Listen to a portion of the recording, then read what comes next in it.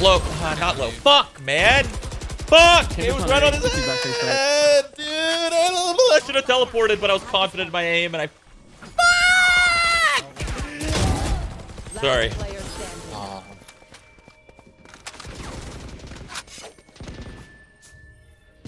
Fuck!